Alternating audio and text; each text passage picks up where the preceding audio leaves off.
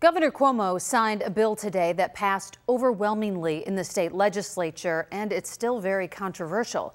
New York is now the first state in the country to ban the declawing of cats, a procedure that supporters of the ban call painful and barbaric since it removes cats' toes down to the first knuckle and can lead to problems later. But many veterinary groups oppose it, saying it should still be available as a last resort because it could lead to more people euthanizing or abandoning their cats or returning them to shelters when they scratch up furniture or people.